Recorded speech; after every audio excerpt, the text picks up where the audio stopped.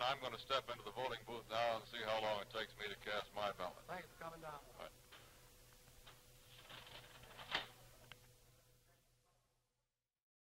I have made up my mind. It is my decision, effective tonight, to step down as vice president and news director of WTVJ and also relinquish my duties as newscaster editorialist on this program. One of the founders of the Lynn and Louis Wolfson II Florida Moving Image Archives was Miami news pioneer Ralph Renick, who began his broadcast career as an intern in 1949 at WTVJ. I don't think anyone has been a TV news director longer than I have, going back to 1950 at this station. I also began the first daily TV newscast in Florida 35 years ago on Channel 4. I wasn't called an anchorman then because at the age of 21, people perhaps thought I hadn't yet learned the ropes, and they were right.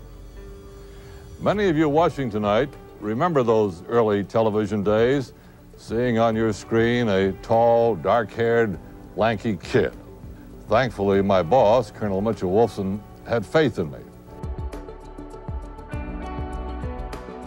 Renick was the driving force behind WTVJ saving their news materials and then helping to make sure the Wolfson Archives was established to be the caretaker of the collections. Aside from the film and video of his news reports and special programs, the Wolfson Archives has hundreds of files relating to Renick's most unique innovation at WTVJ, his daily news editorials, which started in 1957. Here is tonight's editorial. The archives has copies of his editorial scripts organized by date, which can be matched up to any corresponding news footage and recordings of his editorials as they aired. Editorials are not designed to make everybody happy and feel good all over. This one won't. But we feel something needs to be said, despite the euphoria in town this week over the Miami Dolphins' stunning win over the Dallas Cowboys in the Orange Bowl Monday night. This collection also includes Renick's various awards and commendations, recognizing his professionalism and civic involvement. Though Renick left WTVJ in 1985 and made an unsuccessful run for Florida governor, he didn't leave television behind completely, having moved to WCIX, now WFOR, in 1988 before officially retiring in 1990. Our top stories tonight on Channel 6 Action News. Good evening, everybody. I'm Ken Matz. And I'm Diana Morgan. For decades, he dominated South Florida TV news. He was a man whose contributions to TV news reporting made him one of the best known figures in Florida history.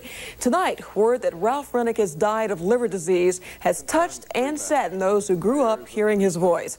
Channel 6 Action News anchor John Hambrick looks back at the life and legend of Ralph Renick. Along the way, Ralph went places, met people, and stored up experiences most active reporters today have only read about in history books. He was part of that history. After all, he was, more than any of us can ever hope to be, the definitive newscaster in South Florida, the trailblazer. Good night, and may the good news be yours and hopefully mine.